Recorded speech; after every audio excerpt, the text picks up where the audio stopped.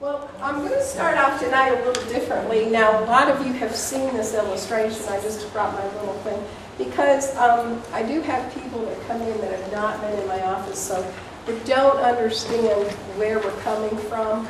And I don't know that I gave this the last time when I was there, but one of the first questions a lot of people ask me is because we're so associated with like New Age and things along those lines, and people say, Okay, you're doing things that people in that camp do. So what makes us different? Or what makes what I do different in my office? And as a Christian, and I will preface this, just because a person's a Christian does not mean they're getting into something that they shouldn't be. So it doesn't, you know, aren't covered by saying, well, I'm a Christian, because there are Christians have gone, I say, gone into that world who don't maybe understand or they're playing around with things that they probably shouldn't. But um, the easiest way I try to explain it is that I serve a creator who is separate from his creation.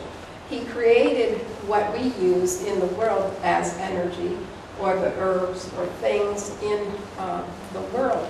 But they never come together. In uh, the area of New Age, they will say, well, the energy is a force and there's some kind of mystic part of that that's connected to God. So we energy, God energy, we're one, but we're not. We never will be. And that's probably the biggest difference in what um, I, at least the way I feel about what I'm doing, is I'm using creation, but I serve a creator.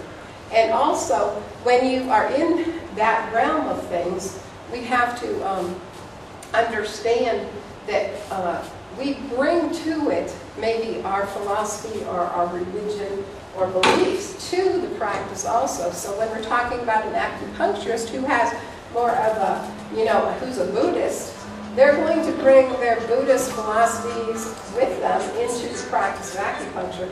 So they've already brought in like the, uh, you know, false gods or even demonic activity Whereas a Christian too, I don't believe that I'm doing that because I'm just using creation. I'm not trying, you know, we make jokes of this, but we have chickens in the backyard, but we don't kill our chickens and hang them from the trees. You know? Now my sons do, but not for that purpose.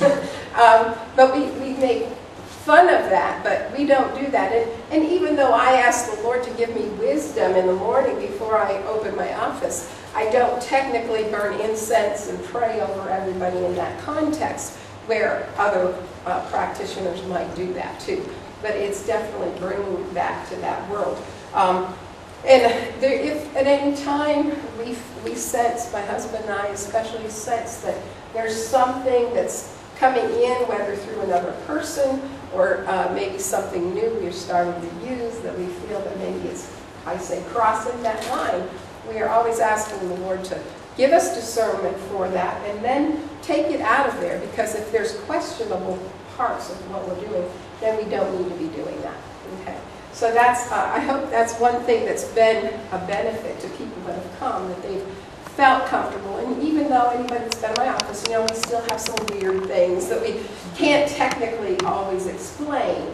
But it's not because it's, there's a mystical part of it because the scientific uh, community has given us a lot of explanation for what we're doing, even though maybe muscle testing specifically seems a little weird on the surface. But we can duplicate, duplicate that with technology, and that's what they've been doing for, since even 1960s, a lot through Germany, and those have come in. So, And I've done a lot of studies per personally to see, okay, what am I doing that cannot be duplicated then that's those areas that I might, you know, shy away from.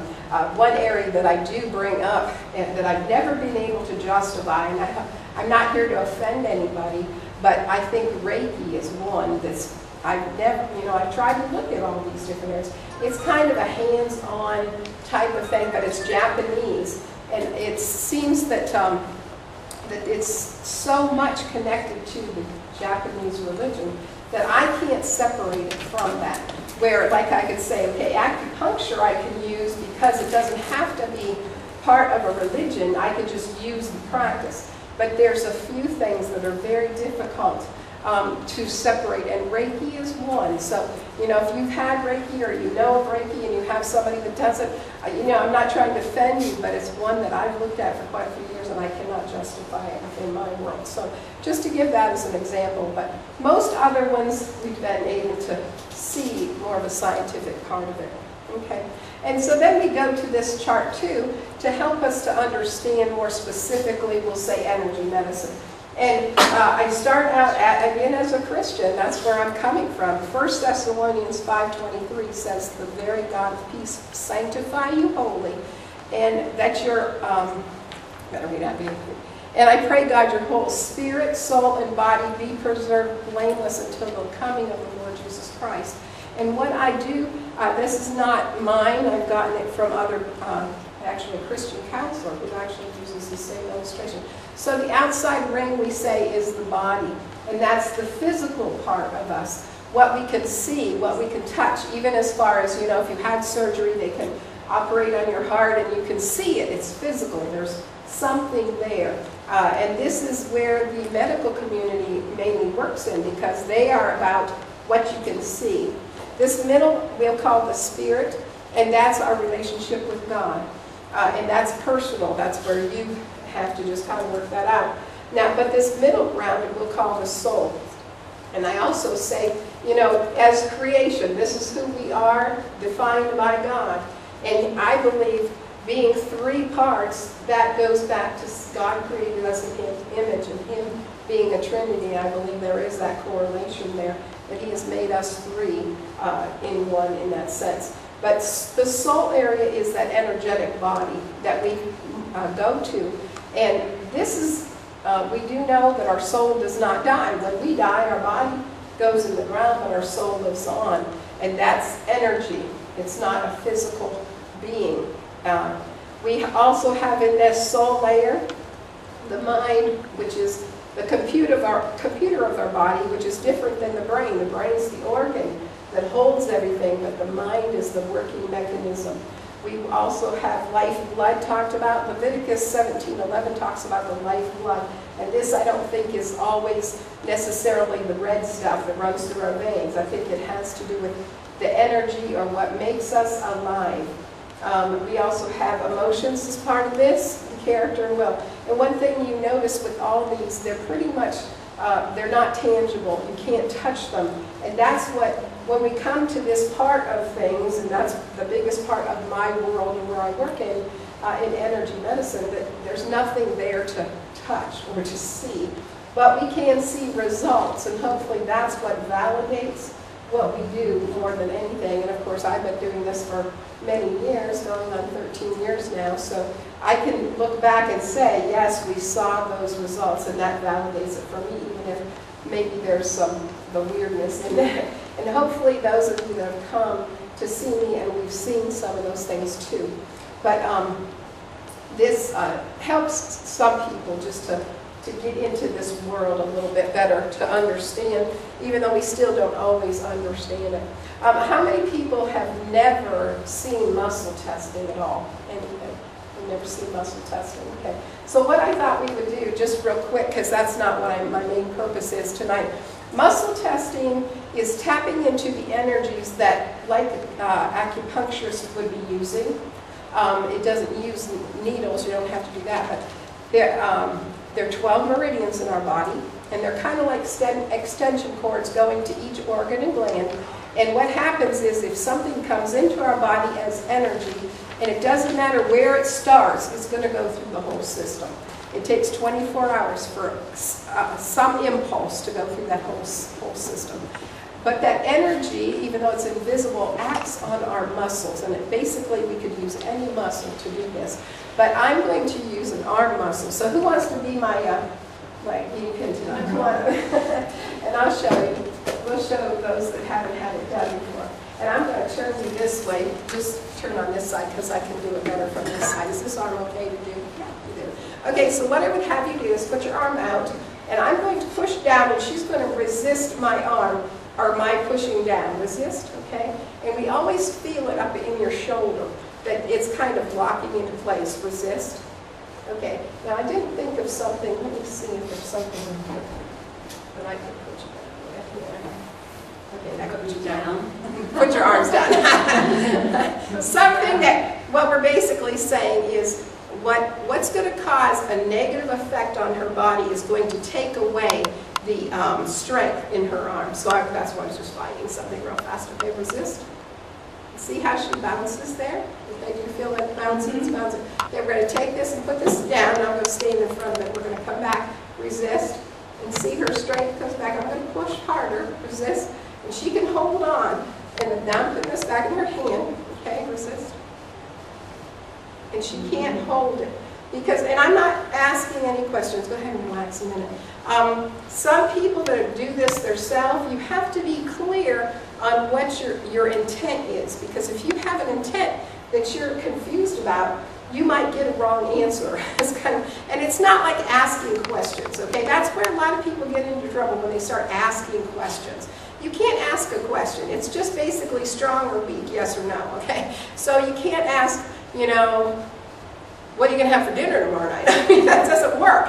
Her body can only say yes, no, strong, weak. So you don't want to get too complicated. And that's why I say when you're doing muscle testing, you should not have a big intent. You just, you don't really have anything in your mind. If you can stay neutral, let her body answer, and you wouldn't have that either. But just basically, is this going to give her, have a bad effect on her? And that's basically what I'm doing here. I'm not asking any questions, and I'm here talking, but I push on her arm and she goes weak. That means this is not, not only is it a not a, it's not a neutral, but her body doesn't like this because it feels what's in here without having to take it. And it's saying, "Oh, I don't like that. Energy goes down, and then we can see on her muscles that it goes down too. Okay? That's the simplest way, and you can use that at home. Um, with your kids or with your, you know, family members, just to kind of get an idea if something is bad. But there again, I'll say this again, don't think of a question. That's where you get in trouble. A lot of people, when I test them, I'll get one thing, they say, well, I tested it at home and it was okay. Like, what were you testing though? Where did you have an intent? Was it like a vitamin where you saying, okay, would this vitamin help me? Well, you forgot to ask if it was going to hurt you. it might help you in one way, but it might also hurt you. But that's why I say when you get into asking questions, you're going to get yourself in trouble. Just hold it, have no thing, just use the muscle. That will tell you if it's okay. If strong is okay. It's not going to hurt anything. It doesn't really tell you that it's really good for you, but it's okay. But if you put something in hand, like we did for her, and that was Lobelia, by the way, that's a long thing. that your body just did not like that. So you can play around with that. That's the most basic muscle testing you can do. And I think that's a good place to start. Um, now I do my own muscle testing surrogate in my office. I use my finger, and because our energy does not stop at our uh, skin, you're kind of like in a bubble, then I can feel what your energy is doing. When your energy goes dropping off, I can feel it. I can also test it on my fingers. I'm not testing myself, but I'm testing whoever. And my little pinky is kind of like your arm. If that pinky goes weak or you go weak and I test it, it will pull through the O-ring. It's actually my pinky that pops out and allows my fingers to pull through. Or if it's strong, like just like your arm stays strong, I will feel strong and my fingers will not unlock. And that's how I do it in my office. I'm just, that surrogate testing. You can do that too, but it's really it takes a lot of practice to do this. So if you want to play with this at home, the arm is the easiest one to feel because even the person you're testing can feel if it unlocks or doesn't. You don't even have to determine that. It doesn't have to be a lot. I don't try to push somebody's arm down. Sometimes if somebody does it, they try to, you know, push it down. Well, it doesn't have to. It just has to bounce. That tells you it's loose. It's either strong or weak. It doesn't have to have a full falling out. But those are things you can start playing with. There are a lot of different ways to do muscle testing. Um, but if you have somebody to help you, the easiest one is always going to be the arm. And you just, the best way is kind of come across, like I was doing with Susan, come across to the opposite arm and just using it that way. Okay?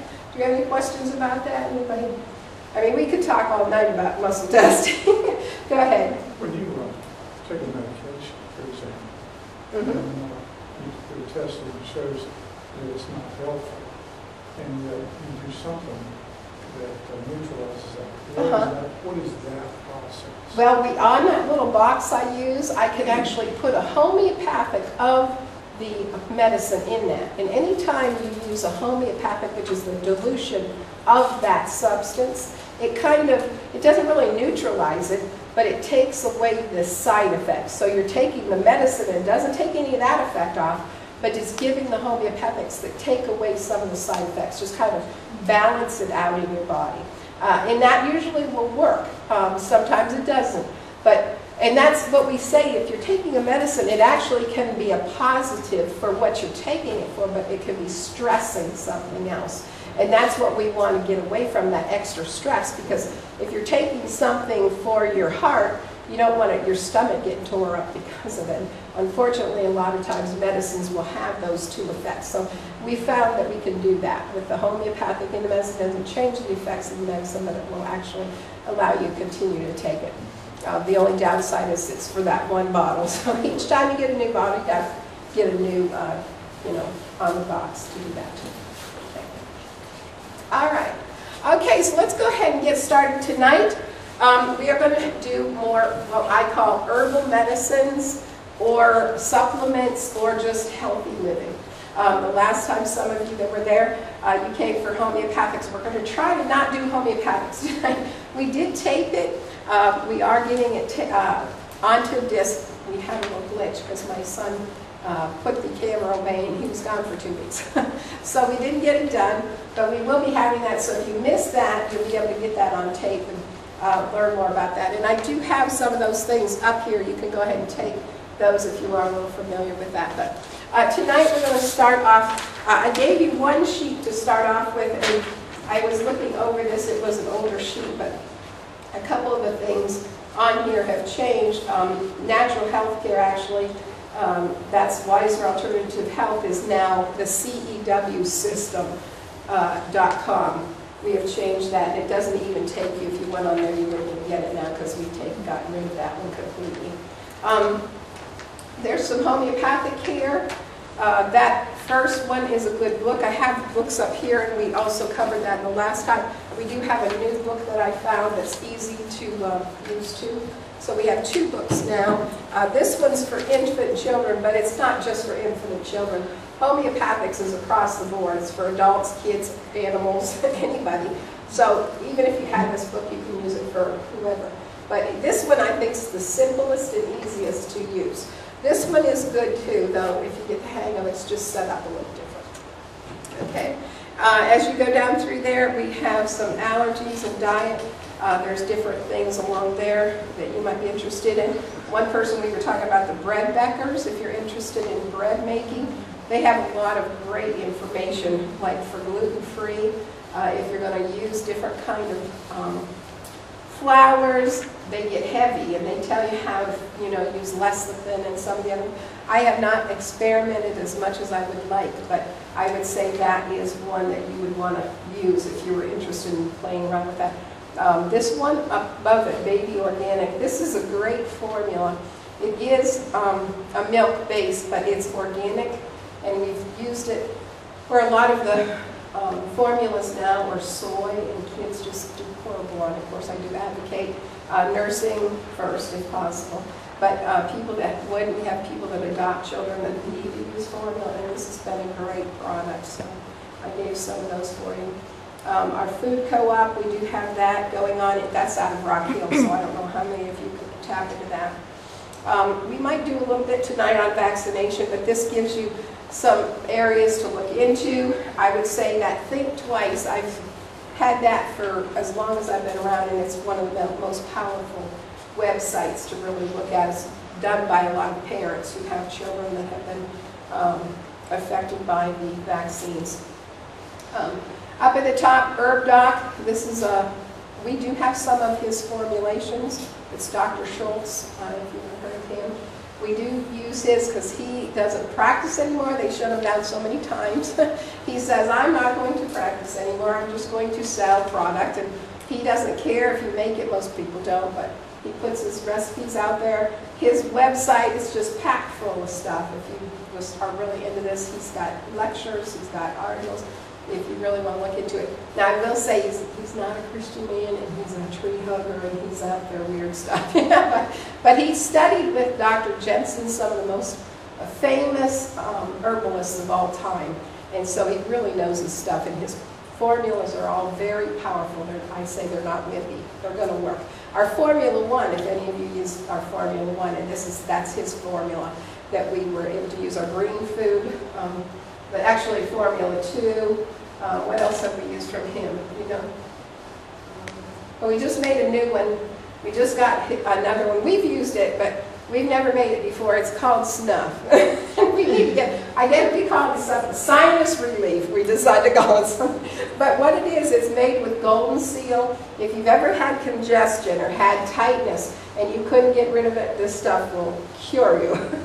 but it's, it's like powdery and you just suck it up your nose and it, you sneeze and you, you know, do everything, cough and sputter, but it's very powerful. And Karina did finally, we had somebody asking about it, she did finally go ahead and start making it. So if for winter, you might want to get yourself a little bag of, of sinus relief. but that's his formula too. Like I said, none of his stuff is whippy, it works. um, then Dr. Huggins, he's probably the most knowledgeable about dental information. You know, we sometimes talk about root canals, amalgam fillings, getting things out. He's got a lot of information there too. Um, a few chiropractors, which there's tons of chiropractors around here. I know uh, up in this area, there's some really great ones. Uh, again, I will throw this out. Chiropractors kind of straddle the fence. some are very medically minded, even though they can't prescribe uh, medicines, and then others are more alternative in their practicing. So you have to just kind of find one. I personally like a chiropractor that's considered upper cervical or low force. That means they don't take you and twist you in pretzel shapes. Some people like it. My husband loves that. I can't stand that. I just want low force, nice upper cervical, because if your upper cervical's not uh, balanced and set, the rest of it's never going to get into. So those are just some guidelines, you know, if you want to talk to it. But there's a lot of great chiropractors, but there's a lot of bad ones too. and then midwife, there's a service. They are in South Carolina, but they're just over the border right there in Fort Mill area because North Carolina midwifery is illegal, South Carolina it's not. So they kind of put it that close so people in this area could tap into that. And I do know one of the main women there, they have a good practice going there too. So just some of the things that uh, would help you to do a little research on your own. Um, if you have any questions about that, feel free to ask. Okay. So let's jump into um, some of the things that we have up here. And I think what I'll do is probably just go down the line and tonight, we're not here to sell product, okay? We do have product, we try to keep things for people, but um, we're not here to sell, but we're trying to educate on things that we found. We can't carry everything, but we try to keep things that we know we can make better, especially herbals. Uh, we do make our own herbal formulas, pretty much. Um, supplements we don't so much. Karina is my daughter. She's studying to be a master herbalist, and she's pretty much taken over our, if you come to the office, our, our beam ray and our foot bathroom. so she's working more with people, learning some else testing too. But she's making all our herbal formulas right now. Um, some of the things we have, we, um, let's see, let's let me talk about things so if we get behind, we don't lose out. Um, one thing that I think if you don't have anything, this is the one product I tell people. It's called Robbers. It's a essential oil. Essential oils are different than herbs because they, the oils have been extracted. They're most, the most powerful part of a plant that we can get is the essential oil. It's made from cloves, cinnamon, thyme, and lemon. It was originally made by the, a company called Young Living. That was one of the main essential oils. Um, unfortunately, they're an upline too. I was saying a little bit about that earlier. Hey, how you doing tonight? Come on in. um, it's they they're an upline, and anytime you have the upline concept, you got to pay people money to do it, and just get the price goes up and up and up. This company is an upline, but he's, he's not, he's one man operating him and his wife. So they haven't gotten to that big company yet. When you call, you're going to get him or his wife. and um, they're called Ancient Wisdom. Uh, and this is called Ancient Robbers. but the, the uh, story behind these, the other company is Thieves, and this is Robbers. And what they did is back when they had like the plagues in Europe, um, they had people going in and looting homes. And when they finally caught these people, these guys, they said, why weren't you not afraid to go into these homes because weren't you worried about getting the plague? And they said no, because they had this formula, supposedly. And that's where they've gotten the name. But we found out in our practice that this is probably the most powerful thing as far as um, an antimicrobial. Uh, we've used this in our family. I have five children, my husband and myself, my mom too, my sister. and we as a family have not been to the doctor in about 15 years. Uh, except for broken arms. um, and it's not that we're much healthier than everybody else. We still get flus. We still have strep infections at, point, at certain points. But we have consistently used this. We've done other things too, but this was the one product I believe that's helped us healthy, uh, helped us to get over those bacterial infections that we did get, just like other people. And so I tell people, if you want one thing, this would be the product. Now, we don't even use this straight. Um, when you get this product, I give you a bottle like this. Of course, this has something else in it, but I give you this bottle because this is uh, so potent and it can, uh, if you put it on straight, it can be burning. Now, people have put this in their eye and it doesn't hurt their eye, but it's burning because it has cinnamon, clove. If you ever use those products, you know they're burning. Uh, and it won't hurt you, but we prefer that it not burn. so we use it with olive oil, 20 drops in a bottle, and we dose of this. So if you do get this, this would last you a long time because you're only using 20 drops at a time, and then this bottle will last you. And another thing, you um, not supposed to tell you to use these things internally, but we do. uh, but it, the good thing is they work externally by putting them just on things. You have sore throat, you just put it on your throat. I like to put it on my sinuses, rub it around the ears. You don't even have to put it internally, and you're going to get a lot of the same effect without. So this would be, if you wanted to have one thing, this would be on the top of the list that everybody should, especially if you have children. this is the one thing you want. Since we're on essential oils, there are many essential oils, but I carry a few. Robbers is one. Another one I carry is peppermint oil. Now, if anybody's been in my office, you know that digestive enzymes, and we'll get to that, the digestive enzymes are good and work really well. But right next to those, an essential oil that's a good digestive product is peppermint oil. Um, if you have a indigestion or you're just feeling like things aren't good, peppermint oil is another one that works really good. And sometimes if you take a lot of digestive enzymes in between, it's nice to have some peppermint oil. And I just take it I'll just drop one drop on my tongue and it'll just take care of things. Um, can that help for chemo patients that have, um, after their treatment, that will have Like their esophagus and stuff. Well, I would assume because it's digestion, I can't really talk on that because I've not really used it for that, I have anybody that has used it. But if it's digestive issues, um, I guess the only thing I would be concerned, you always have to be careful because sometimes when people have chemo, it burns their esophagus and things. Then you're kind of dealing with that. It's, it's a structural problem as, opposed, as opposed to just a digestive issue. And you would want to be careful. But it, it might. If they put a drop of that in yogurt or something and had it that way, would that make any difference or not? Um, it probably would be just as good. I don't think it, but again, it's just being very careful. If, you know, if you have a esophagus, you have to just be careful. And that does happen quite often. But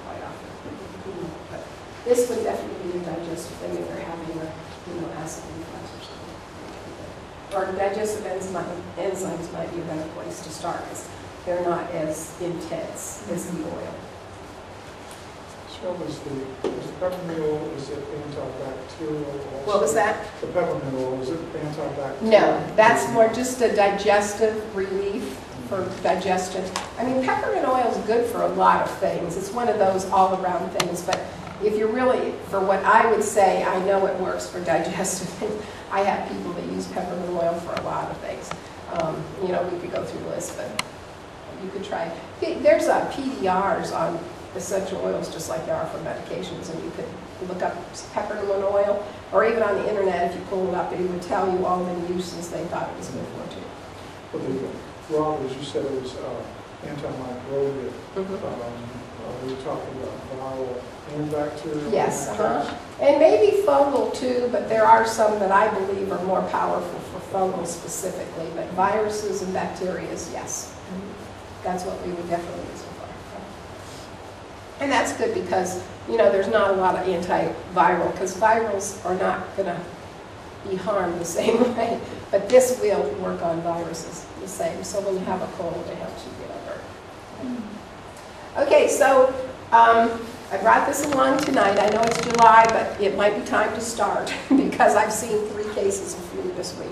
So, um, including one of my daughters. So, so I think it's early. We usually wait till about October to start this, but this is the one that seems to match. Um, we tried gelsemium, we looked at arsenicum, but I think this one's the closest one for that flu that I'm seeing, which is more, you know, it's stomach, fever, diarrhea. That's what it looks like. So this is matching. So uh, as a preventative, if you start seeing people around your area, you might want to start this. And, and we did today. I gave it to my whole family today. Uh, the way we use this is oscillum, that's what I call it. You can get this most drugstores, and it's a homeopathic. It's actually the bird flu. That's what it is made from, the bird flu. But we usually start in October, but starting now, going once a month it's a preventative for the flu. We go usually all the way through March or April even. Um, everybody gets one. If you have big families, you can actually take one and put it in a jar and dose it with as water, and it's just the same. Um, if you start seeing the flu around you, maybe once a week, and then if it gets in the house, you know, start dosing everybody once a day, twice a day. If somebody has the flu, of course, you can use the water dosing um, to use that. But, but I am seeing already, I don't know where it came from, but it looks like the flu and it tests as a flu. So, so if you have some oscillum home, oscillum, oscillum is actually the whole thing. But um, you can get this pretty, I have some with me tonight, but you can get them. And, and two, I'm not talking about homeopathics tonight, but if you buy these in a little pack, they're going to say Take this whole thing and dump it down your throat. It's homeopathic. Homeopathic is communication, not substance. It's not chemical. You only need one of these little tiny pills in here.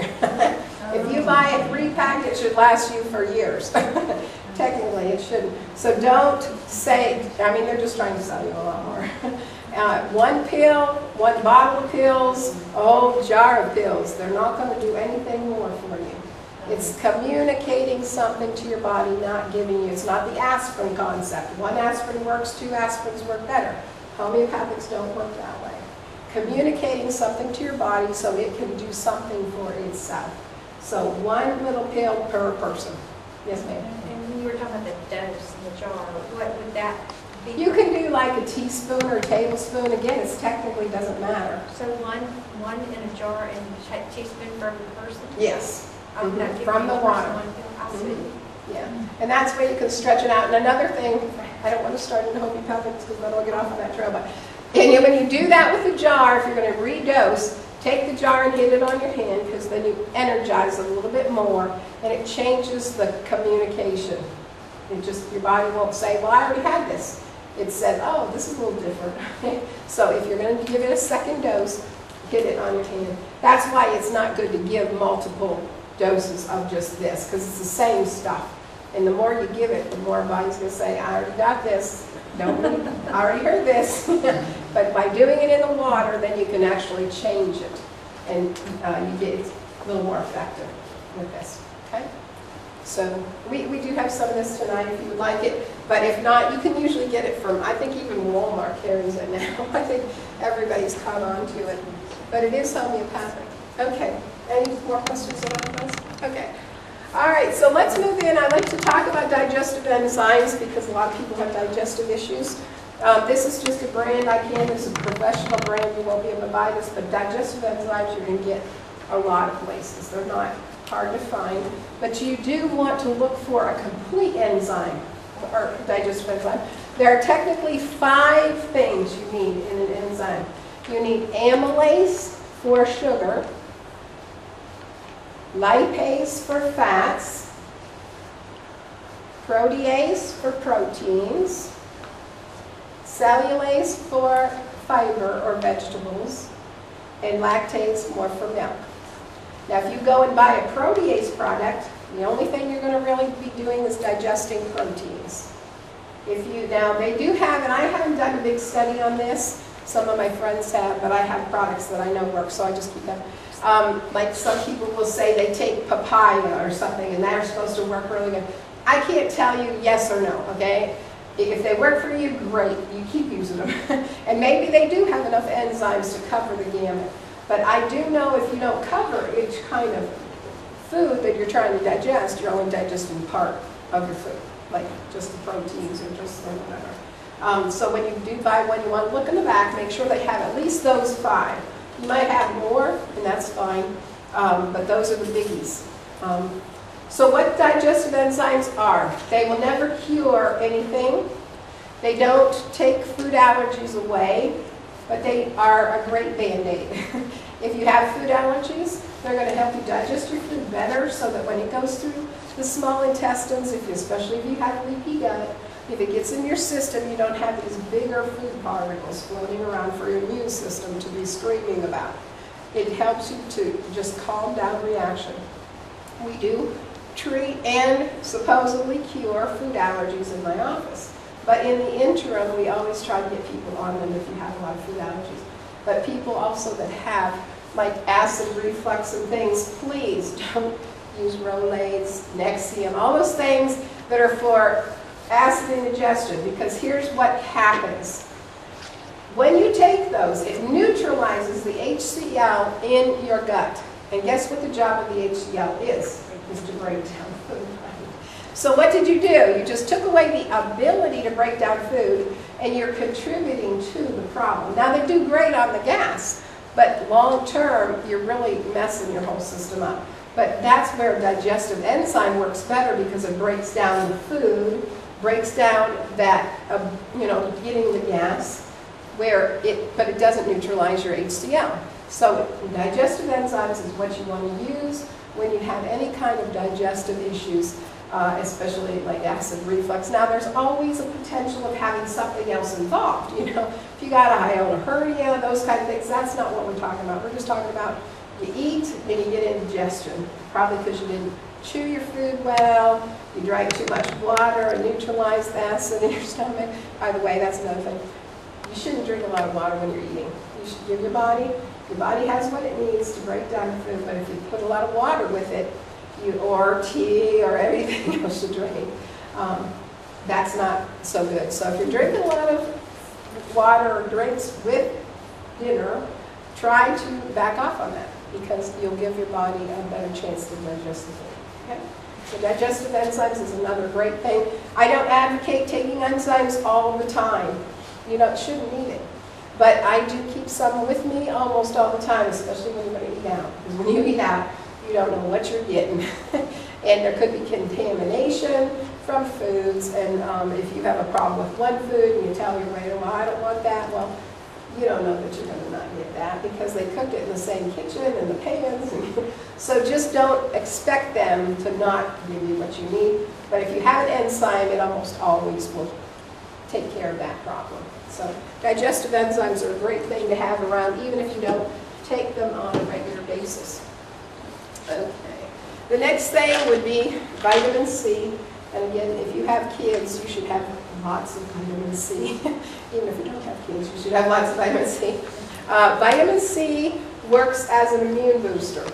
And it's a true immune booster.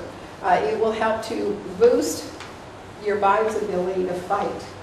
Uh, and, and when I say vitamin C, we're not talking about, you know, 100 milligrams. We're talking sometimes big doses, especially when you're sick. Uh, one good thing about vitamin C is you can't really take too much. If you get too much in your system, you're going to get a flush. And what that means is you're just going to get like diarrhea. It's not a true diarrhea, but it's just that's vitamin C flushing out of your body because it's water soluble. So it just flushes and you think, okay, I got too much vitamin C. You can determine that if you get that flush. But even with kids, you know, you can't really hurt them. So if I had a, a child that was sick you know, I would not have a problem with going right to like two, 3,000 milligrams because usually it's gonna, the benefits outweigh the, you know, the flush. And if you're not giving them enough, it's not gonna really help them. You know, it's kind of like just give them a little tiny dose down here, and you need, especially when they're sick, and you want to get them. Uh, vitamin C also works on allergic reactions, like even anaphylactic shock. If you ever had somebody going into shock and they weren't unconscious, you can get them some vitamin C. The quicker you can get some vitamin C in them, the better. Um, I, I tell us, I like to tell some stories that, of course, we as practitioners do a lot of crazy things that I don't advocate with. but we had a, um, one of our homeopaths, of course, we have emails and we, all over the world, and we correspond. Of course, you have people on the other side of the world that are up when you're in bed and all that, but I remember one night a woman had gotten bit by a rattlesnake. and of course, we don't go to the hospital either. so she's on the internet typing. This is like 2 in the morning, and I just happen to be up or something. But she was like, okay, what do I do? And we were trying to talk. Because another thing, when you're sick and something's wrong, your brain falls out. Everything you know just goes away. you can't think logically. It's like, okay, emergency, what do I do? It's like, okay, we'll take vitamin C. And she was able, I think she took, I mean, thousands and thousands of vitamin C, and she never did go to the hospital. She was having a reaction and everything, but she never did. Uh, and that was just with vitamin C. Now, we have homeopathics we can use too, but she was using that for the reaction she was having. So vitamin C is pretty powerful. I'd have vitamin C at home too um, for those kind of things. Um, and there's probably a lot of other things. If you have constipation and you're in a pinch, give them lots of vitamin C and it probably will take care of it. It's not curing the constipation, but again, if you get enough in your system, you're going to flush, and that's going to help with that too. Vitamin C, another great one. Do you recommend that to be taken for a child um, constantly every day? Should they Yes. especially in the wintertime, or if a child that has a tendency to be sick a lot, I would take it year-round, because it's cheap too. Vitamin C is pretty cheap. Uh, and the only thing with chewables, you know, vitamin C and magnesium, which I'm going to talk about, these are sour, they taste like lemon, so they're almost always going to have a little bit of sugar or stevia in them. But get a vitamin C that only is vitamin C and a little sugar. Don't get something that's got a list of stuff, because it's just junk. So find yourself just vitamin C, and for kids, of course, the easiest way is a chewable. Um, for adults, it's easy for chewable because you chew it up and it gets right in there. Um, but yeah, uh, for kids, 500,000 milligrams usually is not a problem daily. Um, I took one lady, and we were trying to create a flush with her. And I mean, this was just mind-boggling. I had to call all my friends and tell them about this one. We were trying to create a flush because she had a lot of problems with her colon and everything. We went up, she went up to 50,000 milligrams, 50,000, before she actually flushed. Now, once we flushed once, she was great, but it took her 50,000 milligrams. I've never heard of that before, but it worked for her. And her body was just so, uh, it needed that boost, the immune system. And so, you know, it didn't kill her. so most people would not need more than five, six, probably 10 would be a high dose for the very worst case, but, but there again, 50,000, pretty amazing. yes, ma'am. I have flavonoids in the vitamin C. They have those, I still, after 12 years, I'm okay with that.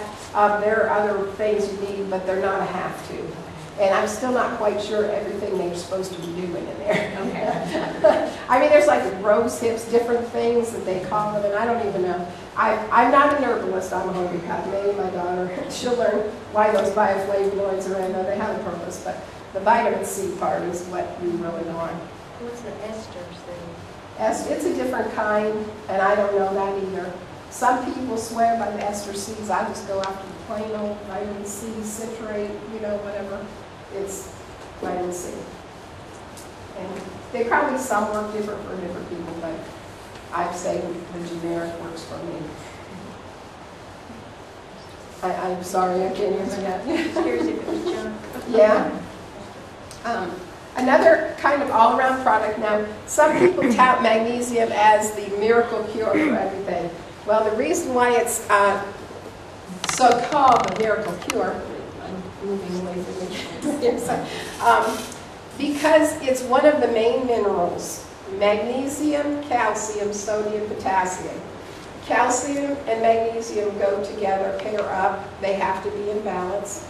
On the other side, potassium and sodium have to be in balance. Guess what we're usually depleted of? It's the magnesium. Probably, I mean, I, I wouldn't be surprised eight out of 10 people need magnesium over any of the other ones. And so that's why when people take magnesium, it's so powerful for most people, because most people don't have enough magnesium. It's not because you might not have enough magnesium, it's probably because you got too much calcium. And calcium will not come out of your system by itself. Now, like the vitamin C, magnesium will do a flush the same way. If you take too much, it's going to flush from your body. But calcium will not do that. Calcium usually gets stored in your joints. It'll create bone spurs, create kidney stones. And what's the first thing, women? You go to your doctor and they say, you don't want to have osteoporosis, so take some calcium. But if you don't need calcium, what? Guess what? You're going to get that, you're going to have the other problems. Uh, just to throw this in, if you're interested, I won't talk on that tonight because it's not that. Dr. John Lee, if you want to do some research, proved 25 years, most osteoporosis is not a calcium problem, it's a progesterone, it's a hormone problem. If you have a problem, you take progesterone, you don't take calcium. So in most situations, a calcium problem is being created by taking it. And if you don't have enough magnesium, it's going to get stored. So that's why magnesium seems to be such a great product. It's not that great product, it's because the other problems we're dealing with, uh, with that. So uh, that's a mineral thing, uh, not a um, calcium problem, okay? I don't want to get started too much. I could talk a long time on some of these issues, and because I have some passion about some of them because of what's being created, but I want to be able to get on tonight. Um, I also, let me just say that too, uh, on the other side of things, you know, we've been told for so many years that sodium is bad, okay? Well, it's not bad because it's maybe one of the main four products we need. And I have been seeing a lot of people, especially on the hot days and things, people are coming in at low sodium. Now, the thing is, you don't want to put more salt on your food. First of all, the salt we're using, unless it's sea salt or Celtic salt, it's not a good salt. You shouldn't buy your salt from like Walmart. That salt needs to go. Um, you want to buy some good salt. But I've found if you do have low sodium, and this comes, we, uh, for years too, we've heard, okay, if you have cramps in your legs, eat a banana because it has potassium. But again, remember, sodium and potassium have to be balanced. And sometimes it's not the potassium, it's the sodium. And I found the best way to get sodium is go get yourself some of the rock salt, you know, you make ice cream with. Put it in a pan of water and soak your feet in it for about 10 to 15 minutes. And your body will absorb it into the tissues. It's not going through your digestive tract, but it will absorb it into the tissues. And your cramping, if that's the problem, will go away very quickly. And it usually I haven't found, I mean, unless you're really having a problem, you probably won't hurt yourself doing that. Now, you don't want to do it every day for two weeks, because then you probably would, you know, get that imbalance really out. But um, look at that sometimes. It's not always going to be the potassium. It's going to be the sodium. Because here's a, this, I don't know if you can get this. I, this was amazing. I, somebody showed me this not too long ago. If you think of these mineral balances on a teeter-totter, and say you have calcium up here and magnesium's down here, but this is where normal is, okay? So what's normal? The magnesium's normal, the calcium's high. But what if you took that same teeter-totter and put it below the line and calcium was normal and magnesium was low? You see how we have two different issues here? So sometimes they're solved the same way, but depending on if you're above normal or below normal in what is the high or low. So sometimes what we would do, like taking potassium, might balance out the magne or the potassium sodium issue, but if the potassium was on the high end, you're not really fixing it, or on the low end.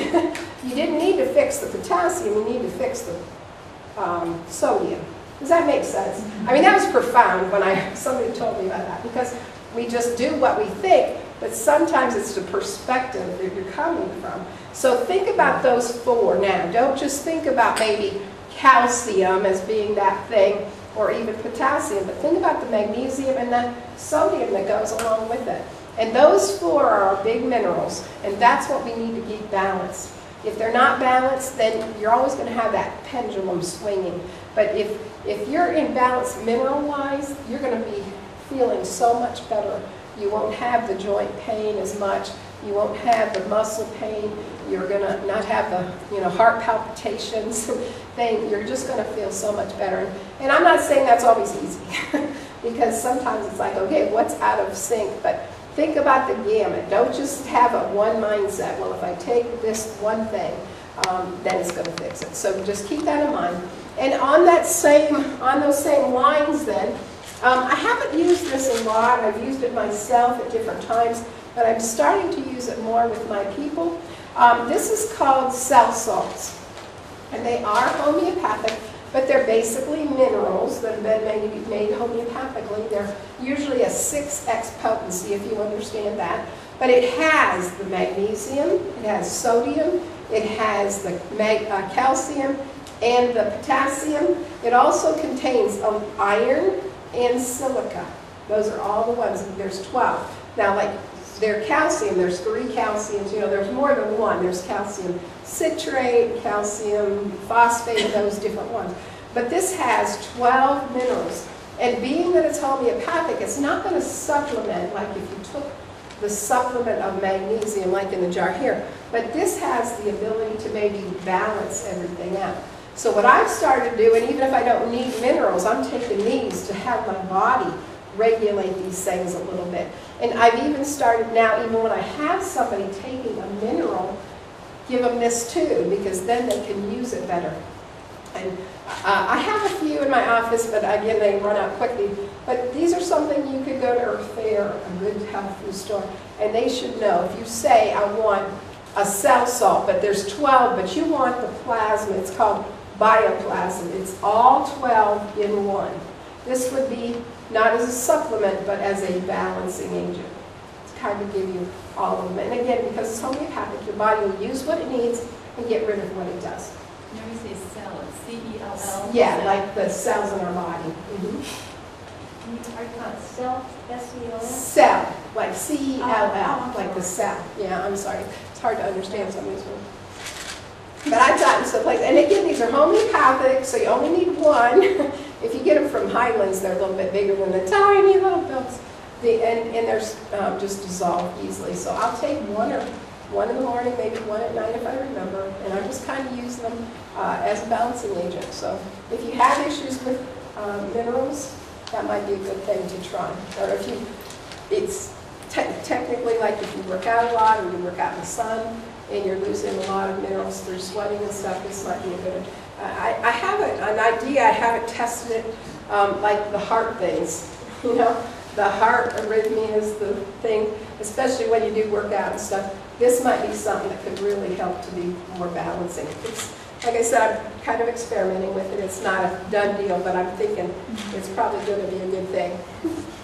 Okay, Just a step back, uh, yes. rock salt soap bath, Uh-huh. that, uh, is there a recipe for that, like how much salt?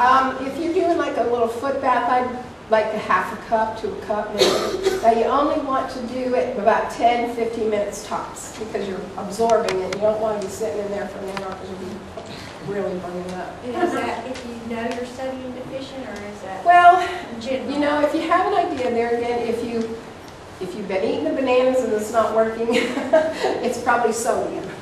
It- And so it'd be leg cramping would be part of that. Um, Always legs, leg cramps, and if you're laying in bed at night, and you can't go to sleep because your legs hurt all the time. And if the banana hasn't been working, try the sodium. You might be surprised. Could you have that in one leg?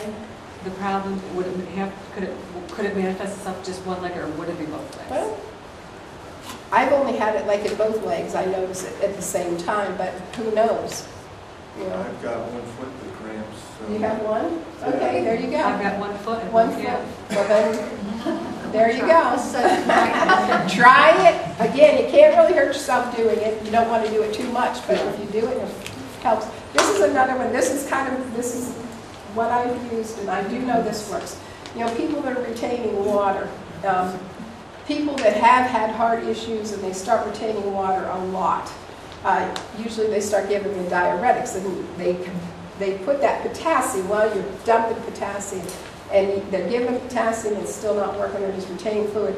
I've taken people that put them in a sodium bath and they're on their way. That body starts dumping that water off. And mm-hmm. that's where I've come to the conclusion, I think it's for heart things a lot of times because I think it's that sodium potassium more than we think. And it's not the potassium side of it. Mm-hmm. So, Does it help in the, like, I've, for three years now, I've had a the vitamin D3 deficiency. We can't seem to get it up to normal. I mean, that's a vitamin, it's not a mineral, Right. but that but it does have the calcium thing along there, calcium, vitamin D kind of. It's not something that, again, I've looked at, but it wouldn't hurt to try it, to see if it would uh, work. I, I, again, vitamin D is one of those, I, the book hasn't been written on that one yet. People are doing a lot of playing around with high doses, I'm not sure that it's always a good thing, but I don't think just supplementing high doses are gonna fix the problem. I think it's another issue that's, and maybe it is the the mineral thing that body just won't the because of the mineral deficiency. Mm-hmm. Can't is it- if it's a leaky gut, you- you're not absorbing. Right. You have a leaky gut, does this help absorption? No. You gotta fix the gut. That's a small intestine. You gotta fix that. You gotta take away the antagonists first, and there's bacteria, virus, metals, fungus. You gotta fix that, heal up the gut, and then you start absorbing. Um, salt, as far as the, what we eat, the table salt, how does that play in, what kind of salt is the best? Well, it's sodium chloride, and everything I read, sodium chloride is bad. It's just not good for our system. It almost depletes us of it as opposed to gives us nutrition. And so, so sea salt, and that's why you can't eat too much salt when you're eating the right kind because your body won't hold on to it. Um, but sodium chloride, and again, I'm not an expert, I'm not a chemist, but everything I'm reading and looking at, they're saying just don't eat that. Just So sea salt. Sea salt would be fine, yeah. Sea salt is fine, the Celtic salt is fine. Um, The Himalayan salt? Himalayan, that's probably a good one, yeah. Mhm. It's all rock. It's all rocks. But uh, something about the sodium chloride, our body's not meant to have, we have it. And for that soaking, now you said like rock salt, what about Epsom salt? Is that? is No, that- that's magnesium. That's magnesium. That's okay. not sodium. Of course, that's good for other things, you know, if you need magnesium or if you need to, you know, detox, you can use Epsom salts. Um, And back, uh, baking soda would be another option there too. Now, baking soda is more alkalining, that helps your body to be alkaline, so it dumps toxins and does things like that. Um, So there's other options in soak baths, but of course, I would not, now, I can't say I would not, because we, for like heavy detoxing, we've used rock salt in the bath, but I'm saying use a foot bath just to absorb some of that, because that would be overkill, I think, for the sodium itself in a bathtub. So bathtub soak bath is usually two cups in a regular bath of either baking soda or Epsom salts. But the rock salt would be more in the foot bath. Can you mix the two, like a baking soda and? I don't usually mix the two. I mean, I guess you could, but usually we want to do something. So we're targeting one thing so we can get the benefit from one of them or the other. Right? And at bath too, it should only be warm water, it shouldn't be hot water. And you should only usually do that tops 15, maybe 20, but, because you don't want to do too much, because then you're putting your body into a crisis. And that's better to do it morning and night as opposed to do it longer at one sitting. Okay? All right, here we go. All right, let's see, where do we want to go next? Um, Let's, let me introduce this one. This is a product I'm not using as much right now. I had, was promoting it. There are some papers up here if you're interested. Beta glucan is this product. It's a great product.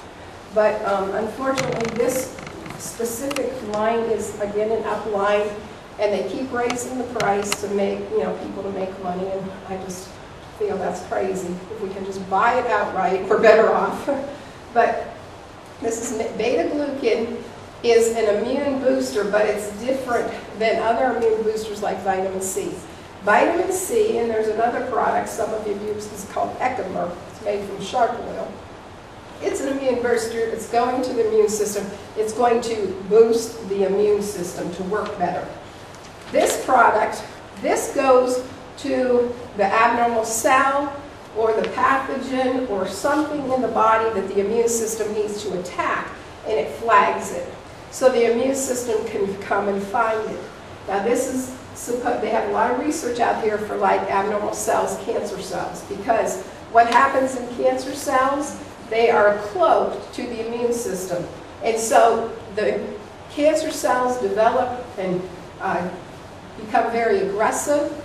The immune system doesn't really see them until they get to a point, and then you get a diagnosis saying, okay, well, you're, can- you're in third stage, fourth stage cancer, you're going to die.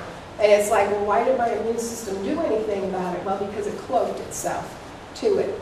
This supposedly, from the research, goes to those cells, tags them, and uncloaks them so that the immune system can find them. Uh, it's a great product.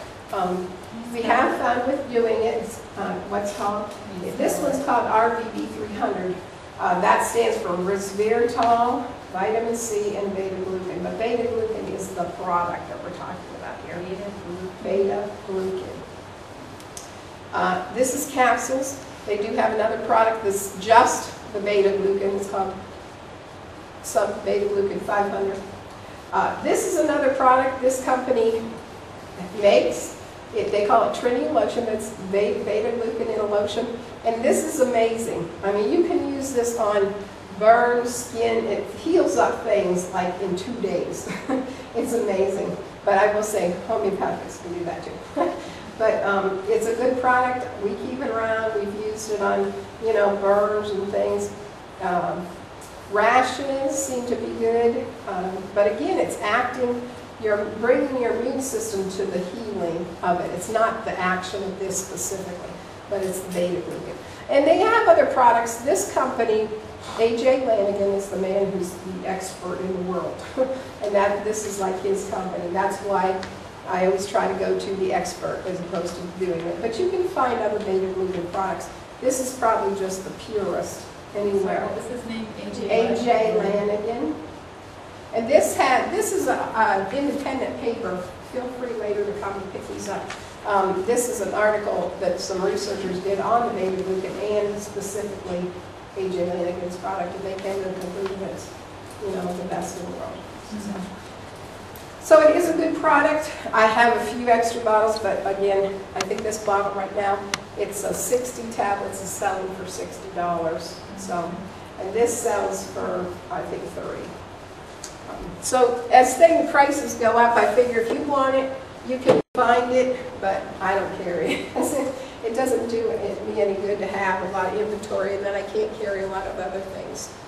Um, Okay, a few, when we were just talking about minerals, um, minerals also need trace minerals to be used in our body. Uh, I use a product, uh, it's called uh, ConcenTrace, trace minerals. This has some of those four big ones that we talked about, plus it has about 80 trace minerals. Now, people don't realize this, but things even like arsenic, you need a very trace amount of that. Even though it's poison in big amounts, it's needed to absorb the other ones. And gold and nickel and all those metals that we know are bad if we get too much in our body, but trace amounts are needed for our body. Copper, that's one reason why a lot of people, we say our food's depleted of its minerals because these trace minerals have been um, used up. They're not in our food anymore. So those kind of things are, uh, you can get and put back. This actually is a product they take uh, from, like in Salt Lake City, this, the lake out there has all those rich minerals and they purify them and they use it. Uh, I've seen illust um, demonstrations of this when they take like a light bulb and they can uh, use electrode and put it into certain things and the light bulb, like alfalfa, we know that alfalfa is a good product, uh, but it tastes horrible. um, Sherry can tell you. Barley greens and all those good things, you know. Uh, They're good things for us, and they light up the light bulb, but you'd be amazed if you, if I could do this, Debbie, I probably need to make, we need to do that sometime. Put it into this, and you never, you know, a light bulb, you think it just can only shine as bright as it is, right? Well, I saw the demonstration, it lit up the light bulb, they put it in a product like this, and the light bulb glowed a lot more. It was pretty phenomenal. But what they were showing is if the conductivity of this is huge, but the benefit in our body is huge too. Um, products like this, and we have, um, oh, I didn't bring it, the Endure is like the electrolytes. And I know for my boys, they love to hike, they're Boy Scouts, I send electrolytes with them in a bottle, and they put it into their waters. This stuff tastes nasty though. It's one of the worst things you'll ever taste. So you got to get past the taste thing. Um, when I use this, um, I put it in a little Dixie cup and squeeze some lemon in it and, you know, chase it. But um, it's very powerful, especially to keep your minerals, again, balanced with the trace minerals in it. Uh, taking this will never, like if you have low magnesium, taking this will never make it come up to perfect because there's not enough of the magnesium in this product. This is more of a balancing agent. But with the trace minerals, it does help. So another good product, um, a lot of times this is for people that really need it, but, but there's times when I just feel like it's a good thing for me to have, and I'll just take it for doing that. Okay. All right. Um, it's quarter to eight. Now, I don't know how, uh, the- everybody, you know, I don't want to overdo this for everybody. I don't know what your time is. Um, I want to leave some time for questions at the end, too. Um, a few other things I have up here. I have a sheet, did I tell you about the bread? I have some for bread. Uh, we advocate in healthy living, of course, uh, people that want to do some things, making your own bread. That means grinding your own grain. And it sounds like a lot. And this is where I always tell people, if you're not already doing this, you can't start doing everything. You want to pick one or two things that you could do and start doing that for a while, like a month or two, until it gets to be habit for you. People are always coming up and saying, "Oh, tell me what you do and I'll start doing it. I'm like, you can't do what I've done. I've been doing this for 15 years. And I worked up to this. But pick a few things, like, like doing bread. And even if you're not into you know, grinding your own grains, buy some grain, good grains, and like whole grains, quinoa, millet, you know, good things. Spelt is a wheat, but it's a good wheat. Um, there's just things you can do, and a bread baker would be a great solution for that, or a place to source. Um, to start making your own bread, and your family will love you. bread is one of those things, I think it's a comfort food. It really is. You smell it, and you eat it, and, and some people think, ask me too, you know, when you start making bread, they go through two loaves a day, you know, because it's like, wow, this is so good. That won't last. It really won't. Because then it'll become, after a week or two, your family says, oh, bread again, you know. it's still nice, but they're not going to eat two loaves of bread. So, so don't worry about that. But it's getting a habit for having good food. The stuff we buy at the grocery store, first of all, if you buy a loaf of bread, it'll last you three months because there's so many preservatives in it. It's never going to mold. Well, tell me, bread is meant to mold. and if you're, you make bread at home, it's not going to last three months. It's probably not going to last three days before it sees of what it won't last anyway because people eat it. Um, so bread is a good place to start. A lot of people are doing it. There's a lot of research out there, and probably somebody who knows doing it, they can help you. Uh, the first couple times, you'll probably get bricks. Everybody gets bricks usually at the first. Um, you know, there's a lot of solutions. There's bread machines. I personally have a KitchenAid. I like, I use the KitchenAid to knead it for me because I can turn it on and walk and go do something else and come back. Then I put it in the pans and bake it myself. Um, so that's my the way I do it. Other people have bread machines that they use. It's, there's a lot of solutions out there that can work. It'll become so easy. To making bread, as some of you are older, bread for the used to be kneading that baby for 15, 20 minutes, and you're thinking it's not worth it. But now you put all the ingredients into KitchenAid and flip it on. It kneads it for you. You take it out, put it in the pan. You know, in two minutes, you got a loaf of bread ready to go. You know, so it's not what it used to be, and we can be healthy. So bread's one good place to start. A lot of people are doing it. Uh, nut butters are good. Peanut butter is not a nut, it's a bean. And pe- peanut butter that you buy usually has junk oils in it. It has mold from, uh, nuts do anyway, but it's moldy, it's horrible, it's got sugar in it to make it taste good. But you can make your own nut butters out of anything else on the butter.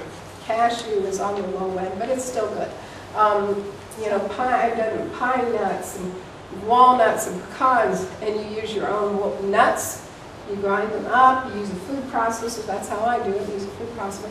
Put your own oils in it, use good oils, olive oils, okay. For this, you should not cook with olive oil. You should use, be using coconut oil, palm oil, some of those. Um, Pardon? Grapeseed oils. Grapeseed, okay. Just be careful with that a little bit, because that's on, you know, there's grades, you know, you're coming down. Grapeseed's here, but coconut and palm oil are a little bit below that, so when you do it, the grapeseed's good. Um, Let's see, and you can put, if you want to use stevia, that's another one. Stevia is not an artificial sweetener, it's an herb. It's really probably the only true herb out there um, that's not going to give you an insulin spike. Um, artificial sweeteners are chemicals, and they will still give you an insulin spike. So they not they might be zero calories, but they're chemicals, and they're also going to create the same spike of your uh, system as if you ate a candy bar. They, they've proven that, and plus they're horrible. Um, aspartame is poison at 76 degrees, turns to poison at 76 degrees, and our body temperature is 98, so you figure it out, okay? So throw all that stuff away if you're using it. Go get yourself some good stevia, and, you know, there's flavors of that. I'm finding this, they have a whole world of stevia now. My favorite is club soda, which is bubbly and has a little acidic, but club soda and root beer stevia, just like the root beer soda. So that's my drink, but they have stevia in almost any flavor that you can find. Chocolate, you put in your good coffees and um, chocolate, vanilla, everything. So try, if you haven't tried stevia, go out there and get yourself a couple bottles and start um, trying it.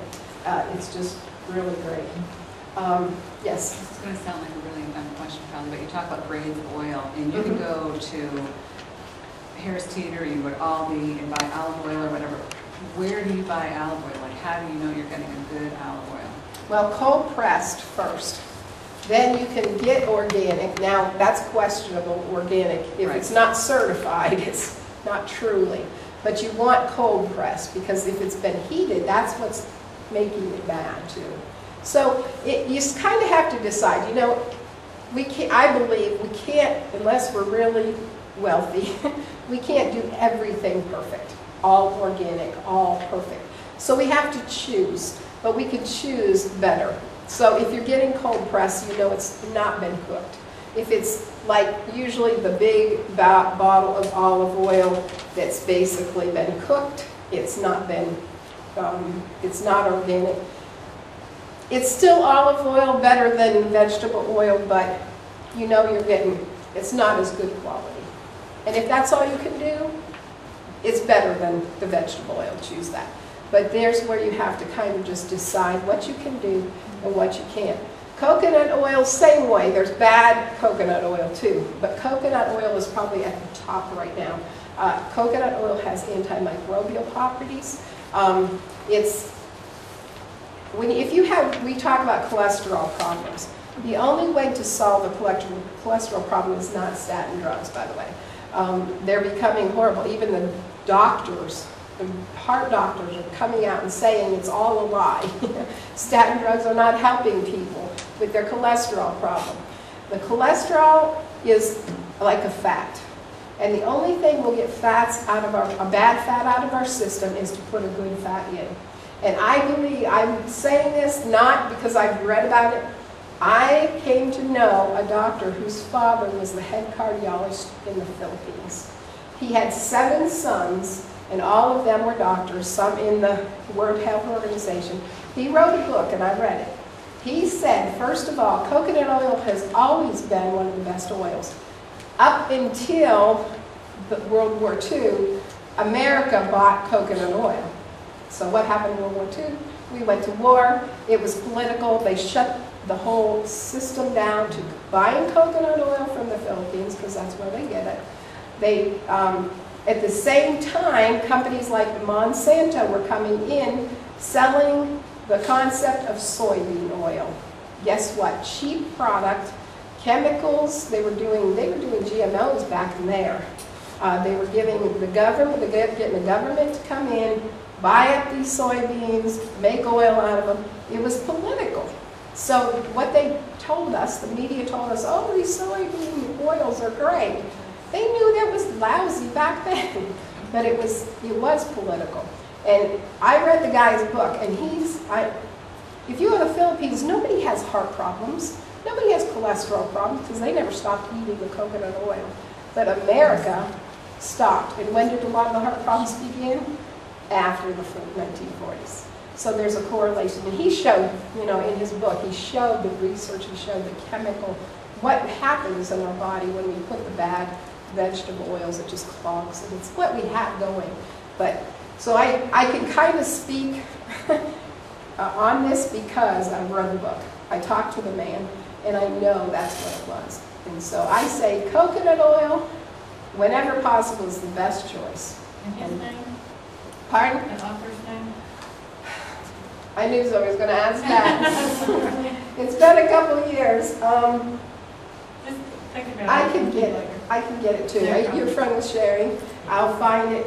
I didn't. Ha- he wouldn't let me have this book because it was his only book from his father, and they didn't get it. But um, his his son actually is a doctor in Lancaster. He's a lung doctor, and it starts with a D, and I can't say it. That's okay. He You know his what? wife actually. His wife's a pediatrician too. You know what's sad though, um, my husband had a heart attack a year ago, this coming August, and, um, when the nutritionist came in to talk to him about his diet, and I mentioned, you know, we, we use good oils, we use coconut oil, and, and she about fell on the floor. And she said, don't you ever use coconut oil. So what they're being taught out there in the schools is, is just different than, you know, what a lot of us are reading.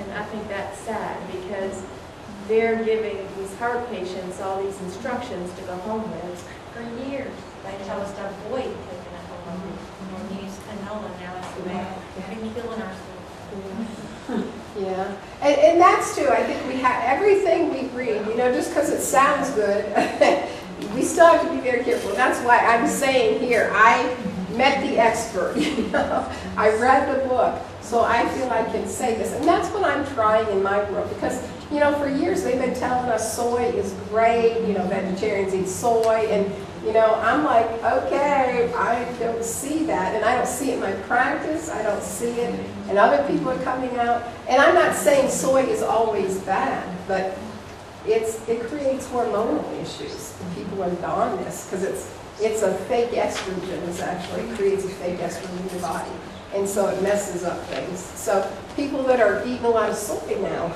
um, to say that it's bad across the board, I'm not gonna say that, but I see the other side.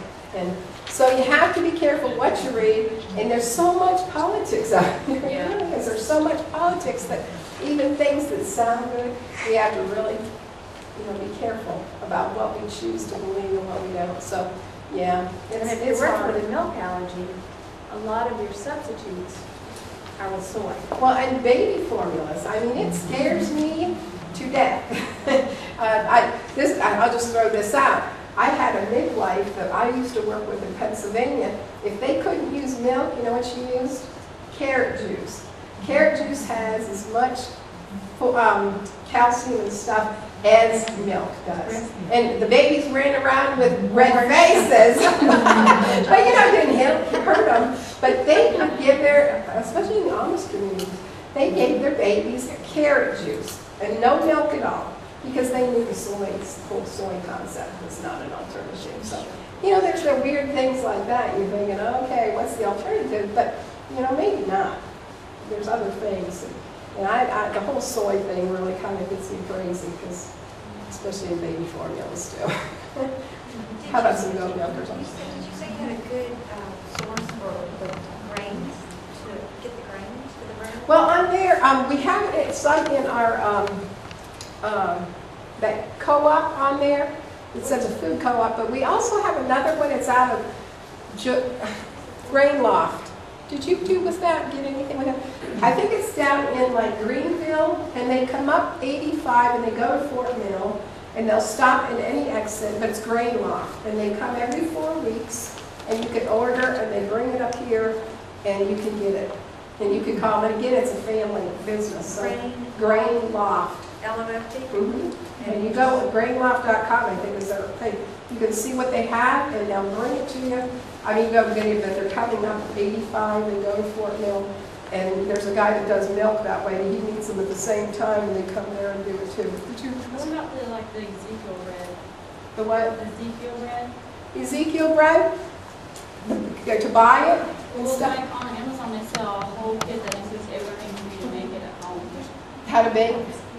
To be able to make it, yeah. I mean, it's got a lot, it's Ezekiel bread, if you ever read what's in it, it's mostly beans as opposed to flowers and they're sprouted. I tried it a couple times, I'm thinking, wow, this is pretty intense. So I'm like, okay, I'm not gonna do that. It was too much, but, but I- Ezekiel bread is supposedly, it's like I said, sprouted beans. It's not flour grain, so it's supposed to be really good, so it There makes there is sense. some whole wheat flour in it. Is it, that's I know, some? That's what Rick has. Okay. And there's different kind of, I think they, Ezekiel bread is not all the same. I think there's different Right, varieties there and are, stuff. but most of, because I had to look into it, because I could Uh-huh. have the wheat, Yeah, and they all have a little wheat flour. that's in there. Yeah. Um, and as, as far as the sprouted grains, that is, is, you get your most nutrition when you sprout your grains. And that's because the hull has been broken open and it's more accessible to do that too. Or so it does ferment, does it start fermenting process? Fermenting the process. Fermenting is a good thing too. Fermenting anything.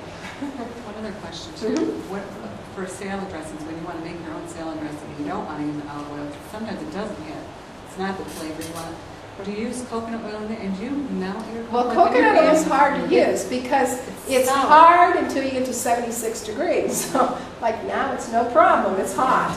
And it stays liquid, but in the middle of the winter, it's going to be like shortening. Right, And so that's the problem with coconut oil. Because, I mean, you can melt it, but as soon as it cools down, it's, you put on the salad, it's going to congeal. Um, That may be when you have the grape seed, that's what I use, grape seed, uh, when I don't want the olive oil. That's another choice. Did you have another Do you choice? know about MCT, which is the medium chain triglyceride? Okay, no, I don't And it's know like- that. It's just like the coconut oil, except it's liquid, and it stays liquid, even in the Okay. refrigerator, it stays liquid.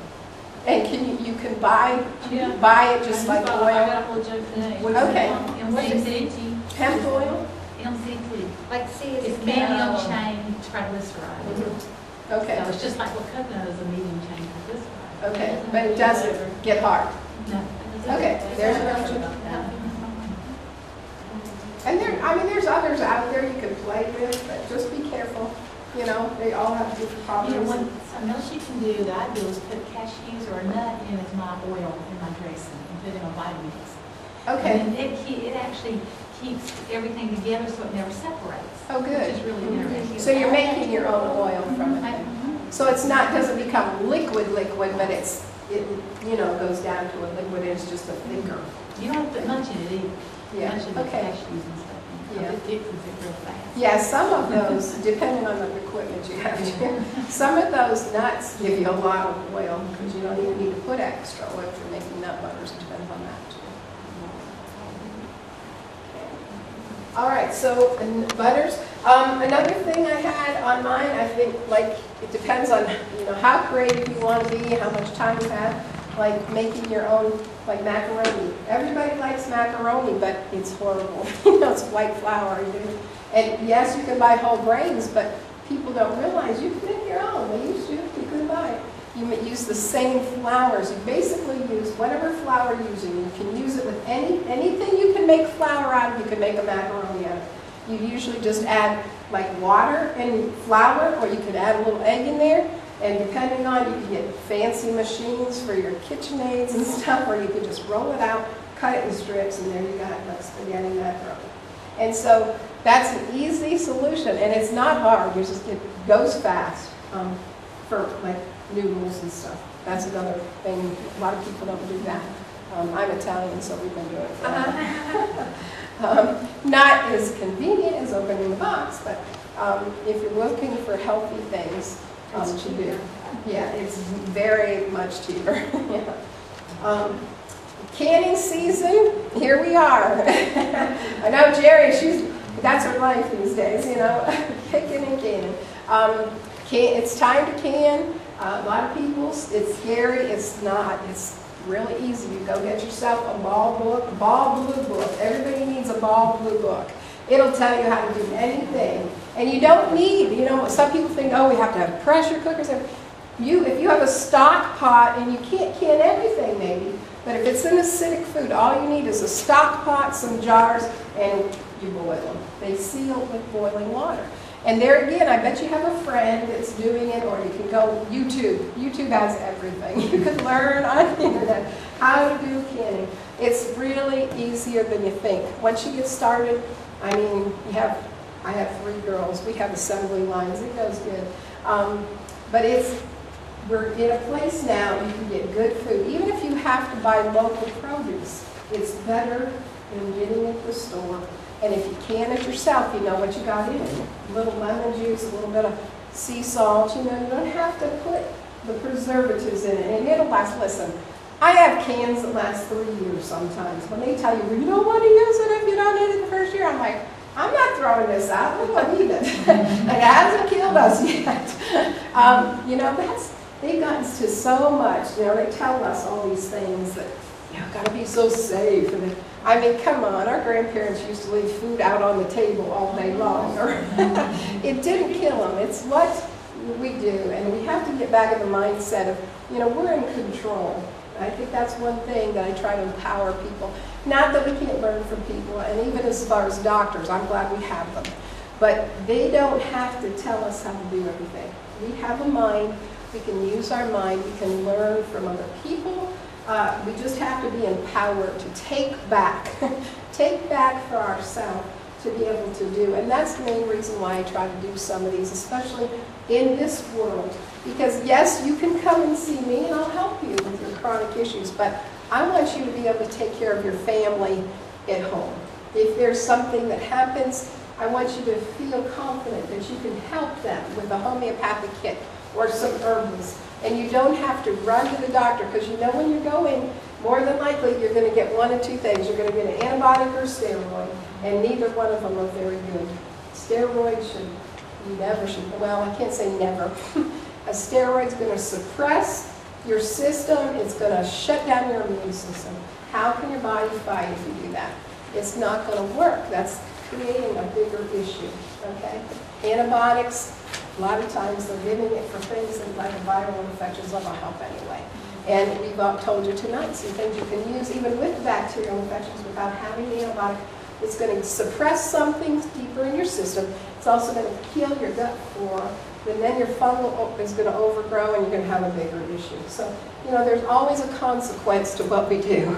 And so we try to empower you to make choices, not saying that that's wrong. If I needed an antibiotic, I know where I can get it.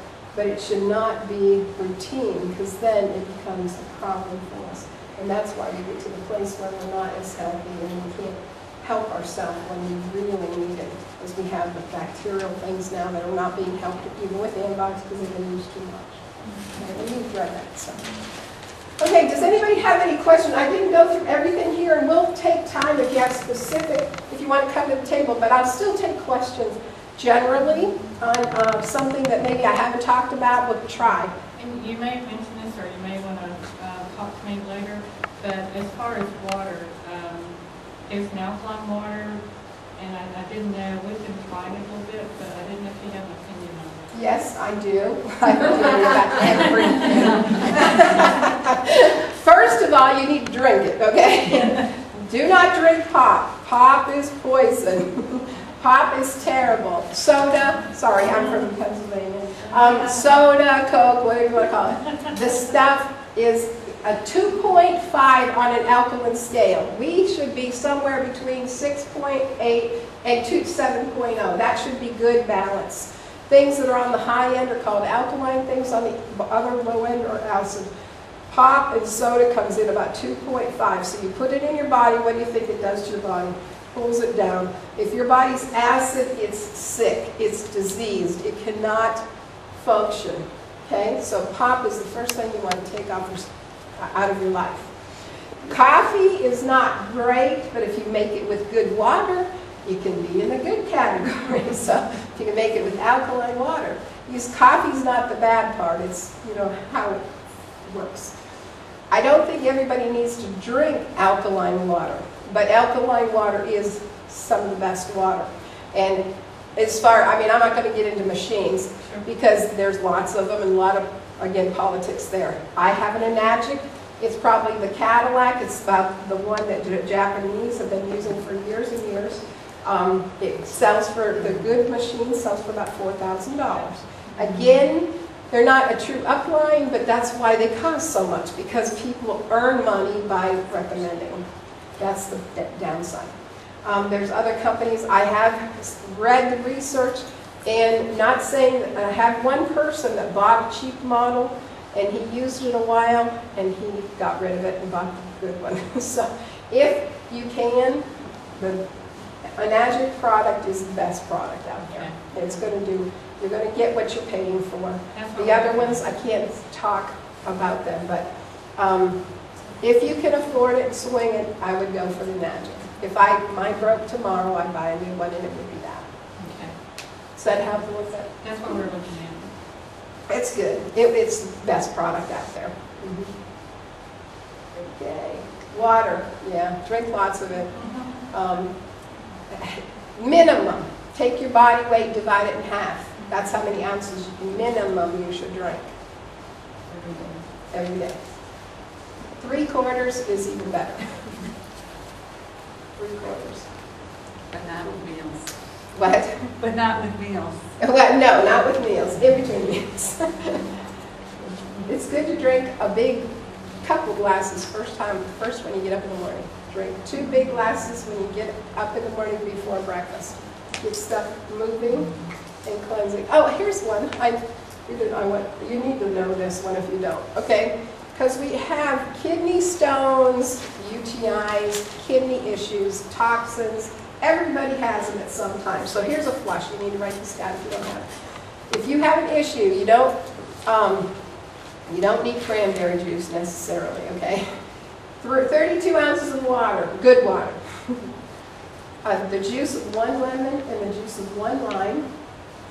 And if you got cayenne, you can use pepper sprinkles or drops if you got it, doesn't matter. T- Five to 20. If you don't like hot, you want to go with the five. If you don't mind hot, go for the 20. And you want to drink this within 10 to 15 minutes. Now, you don't want to leave home after you've done this, because it's going to flush your system. But we've taken people that had uh, kidney stones, um, urinary tract infections, and like got rid of them. Now, if it's bad, if you didn't do it right away when you start feeling it, you might have to do it a couple times a day for maybe two or three days. But a lot of times, one or twice is all it takes. And the lemon and lime is going to alkaline your system too. That's part of the healing, and it helps. But this is one, and, and I don't, I have people call me all the time. Now, I'm not, I'm not telling you what to do, but make a list of these possibilities and put them in your cabinet. Because usually people call me and say, well, what should I do? I said, well, didn't you do the phone? Oh, I forgot to do it. you have what you need to do, okay? So make a list of some of these things that we're talking about and post them somewhere. Because again, when you're sick, you're not going to think about it. Your brain falls out. so have a list so it's easy accessible. I'm thinking about it. What's something else? Can you think? Oh, the gallbladder problems. We have to talk about that one. A gallbladder, and again, these days everybody has gallbladders. Your gallbladder's here on your right-hand side, up on your rib. And if you have a sticking pressure pain, it's probably gallbladder. Gallbladder and liver digest fats. So if you just ate a lot of fats, which include nuts and seeds, all avocados, olives, they're in the fat category. It doesn't have to be the, you know, olive oil. It can be an olive, avocados too, nuts and seeds, meats, butters, milk, all those.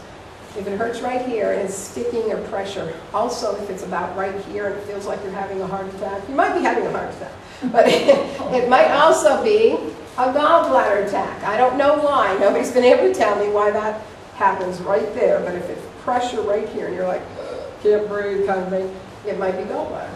So, to do a gallbladder cleanse, I have the recipe up here. I only brought one sheet, but if you want it, you can email me. Um, basically, it's just a one evening. It doesn't even take that long. It's not too bad. Some few people have a bad experience, but most of the time it's not.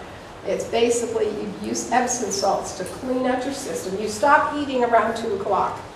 Clean out your system with the Epsom salts because it works kind of like a laxative. About 10 o'clock, you're going to eat, drink half a cup of olive oil. What, then you've taken a grapefruit, one grapefruit, and squeeze the juice into that, and it emulsifies. I know it sounds horrible, but it emulsifies the oil, so it's not so like oil. Uh, and then you basically drink that down, and then you go right to bed, laying on your back for about half an hour. Then you go to bed, sleep, and you don't get up again if you can help it. And by the next morning, you start passing stones. Now, they're not kidney stones. If anybody's had a kidney stone, you know they hurt. These are not calcified. They're kind of like rubbery or jelly, kind of. And so they'll- you pass there. I've seen some this big, and or just you know more sandy. But uh, Hulda Clark was the expert in this area, and she said you could get as many as 2,000 out of your gallbladder liver area. And until you did, you're probably not clean. Uh, but every time those little kidney stones or gallstones go down through those ducts, that's what the pain is when you're trying to digest, you're dumping bile to digest fast, and those stones are going into the ducts, and that's the pain you're feeling. But if you have that, and you do the gallbladder cleanse, a lot of times I've seen people in excruciating pain do the gallbladder cleanse, and they're like, it's not going to maybe fix the whole problem. You can't do something once and it's fixed. But when you're in that kind of pain, it can fix things. And so it's, it's amazing. I've seen it done over and over. Pretty, yeah, that's another one of those emergency things. You don't have to have your gallbladder out, you can fix it. So, and it doesn't cost you. Yes. Going back to the UTI fund, if you have um, cayenne pepper, how much pepper? Just, I use sprinkles, you know, like shake one, two, three, and just Okay. maybe five shakes or five drops. Because it doesn't, unless it comes out white. It, it's all, that's all to taste, really. I mean, it's cleaning, but it's also taste. Cayenne pepper also, that's another, cayenne pepper is another great thing to have around the house. Um, it cleans your blood. Uh, I've never seen it, but I had another herbalist friend of mine who said that cayenne can stop a heart attack. And he did experience it. He also said the way you know that it's healthy for a heart attack is that it, when a person that has a heart attack takes cayenne, it's not hot. You could put a whole bottle down and it's not going to taste hot. I don't know. That's what he said. He proved it on his on the front of him. Who was having a heart attack in his car. he gave him cayenne and it did not taste hot. And he stopped the heart attack. If it stops, if it tastes hot, then you're not really having a heart attack. You're probably having a heart attack. You'll have So, but, you know, try it anyway. So, so cleaning the, cleaning blood and heart things, cayenne is good. Another little thing, I, it doesn't, it's not across the board, but, you know, I like to say, God has made, you know, because we're kind of stupid. He knew that, you know. He said, these people are really kind of stupid, so I have to make it very clear. So guess what, what color is cayenne? Red. And what color is our blood and our heart? It's red. And you know, I could talk uh, for a while about this. Things that are correlate with color and shape. Think about, what do you think, think about cauliflower. What do you think that could help? The brain. The brain. I mean, isn't that cool? Cauliflower the brain. And there's a lot of those kind of things. Also, herbs. This is another thing. Where you have poison ivy, within a 10-foot radius, you can usually find the antidote, and it's usually plantain or jewel weed.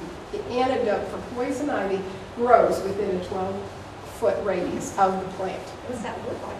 Like What, plantain? Plantain's a weed, you got all over your yard. It's that wispy stuff and it grows a little shoot up, snaky things up the middle, or they're fat. And the ribs don't grow, like the ribs on a plantain aren't, like here's the middle and they come out from it. They go straight up like this and fan out from the bottom to the top. And I could show you if we found one. They're in your yard, they're weeds all over the place. Got. And we just cut them. It's, it's not the banana plantain, by the way, there's, that's the plantain, this is a weed in the garden. But there too, God has put all these, the bad plants, which they're not really bad, they're good too. But the bad plants and their antidote usually grows within a very short distance. Of course, you gotta know what to look for, but it's almost always right together. So it's really cool when you look at those kind of things, so. In that flush, you mentioned five to twenty drops. Uh-huh. If you don't have the drops, how much powder would you say? shakes, like just go one, two, like a A pepper five shake, shakes. or pinches, whatever you got. Five to twenty of them? Yeah, whatever you can taste. If you're I mean, dealing so- with the, with the um, kidney stones, you know the kidney stone is physically really bad. Okay, say that, Mark. Paul's got kidney stone. Okay. went to the doctor yesterday. Okay. He's got three, Oh, no, three kidney stones, he passed one.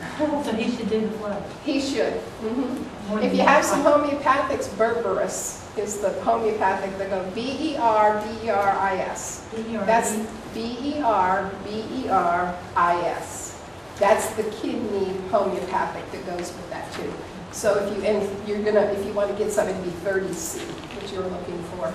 30C or, you know, you could do a 30X, but 30C would be better. And that would be one you'd want to put in the water and dose them by tablespoons. Instead of the drug therapy. Well, they think Yeah. pain drugs. Their kidney stones are bad. I got one, I don't have one, I don't know, and I'll have diabetes before I want kidney stones. Um, Yes. the- The heat, you know, like, um, you said that depletes, the sun, the sun, um, the sun and everything, when you're out, Yeah. you're not like. Sweat. Just, yeah, that's the sun that you're working on, that you make. That, yes, that's a big part of that. The sodium is what you're depleting. So electrolytes, or even a glass of salt, not salt, sodium chloride, but like sea salt in a glass of water, dissolve it and drink it. But when you have a big issue with the muscles and things, I- that's when I think it's better to do the rock salt in the feet because you're absorbing it up through your tissues and things and drinking it. But in a, a pinch, if you got somebody that's having, you know, a lot of cramping, like sunstroke or something, they can drink salt, and that would make a big difference with that too. You have an issue, that's a quick Like I fix. had an issue yesterday. Oh, no. Electrolytes, or, but did you have some minerals at home? I think Like the blue bottle? to That's what you want to take, yeah, take some, like 40 to 80 drops. It tastes horrible, but, yeah, that would have made a big difference. Just, and I just, I was out five hours yesterday, Oh, and I just, I- and all of a sudden it just hit me. I Yeah. couldn't. I couldn't hardly live. Mm-hmm. And you can absorb it through your skin, pour it on them. We take, actually, we've taken kids, because they, autistic children, of course, they can't stand the taste. We've had them put them in a bathtub with warm water to open up the pores, and their mom had poured it over their back and just rubbed them on, and they absorb that, the minerals that way too, so. Don't leave that out, because sometimes if you can't drink them, put them on your body, like the robbers and things we do on the body, but liquid goes in. Um, On the same note, if you got bad water and you're taking a shower, people will tell me, well, I don't drink my water, but you're taking showers in it, and that's absorbing through your skin as much as if you're drinking it, if it's bad water, chlorine stuff goes in your system. So don't think if I don't drink it, that it's not doing anything. Absorbing through your skin can do the same for good or bad, both ways. I just have one question. You mentioned the, um, the osceola Yeah, I'm, someone. No, yes. that it's more effective in water. No, it's not more effective, only if it's multiple doses, then it's more effective. If you're going to take it once a month, you can just take a tablet. Tablets, okay. But if you need it more, then doing it in water gives you that just a little bit of difference time. So it's not, So if it's in the, if the sickness is in the house, then Yes. it's best to go to the go water. to the water, yes. And is that buying a chowder then? Or is that It's still a capsule, just take the oh, it and dissolving in the water. Mm-hmm. Just shake it up when you, you know, hit it on your hand, that's the impact, is the energy. Not just shake it like this. Okay. Well, it's getting on to almost 8:30, and I'm more than willing to stay around and answer questions, but I don't want to hold you um, if you're wanting to go. We have, I used to have a group that would keep me to about 10 or 11 at night, Oh so. my God, you'd stay. Yeah, I love this, I love doing this. I I love to help people, so, no, no problem. Cheryl, when you said you made up something for the Boy, Boy Scout trip on Lake Uh-huh. Light, what are you making up for that? I send a bottle of, the it's the electrolytes blue bottle, it's different than the big one, but they take it with them. And they just put, you know, they know to put 10 to 20 So drops just in their water bottles each time. Okay. Mhm, Yeah. It's it's like, kind of like the salt concept, but it's minerals instead. And when they're on their 50 mile hikes, Yeah. they can't take that much So water. is the smaller bottle just the same? It's just, smaller yeah, it's a smaller, but it, it- it has the trace minerals, but also has more electrolytes, where this is pretty much just minerals. So a different product. Yeah. And you talked about the, um, the kidney stones and the gallbladder. My husband has gout issues Uh-huh, and kidney stones too. okay. Is there any, anything up there that can help him? Well, gout, yes, gout is a uric acid. It's kidney related because if the kidneys aren't filtering well, it's not filtering out uric acid. And that's what causes the gout. Um, um, Wild cherry. Wild cherry is the herb for that. We do have some of that in one of our bottles. I think we have some, that's one of the ones we do carry. And it's, we do, we do tinctures because they're just a little more powerful, but they do have alcohol in them. So if you're not wanting alcohol, you can put it in warm water and evaporate some of it out, but that's how we do make ours with alcohol. That's what extracts the medicinal part of the plant. Yeah, they wanted to put him on medicine, but the side effects from that, once they read it, I thought, Yeah. Yeah, and there again, gout is just kind of the end result, it's kidney. You gotta get the kidneys fixed to get the gout problem solved. Um, You can't just Band-Aid it.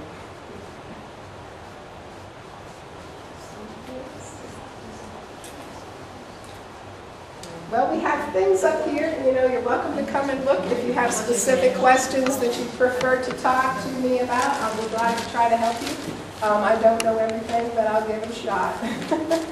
Like I said, I have an opinion about everything.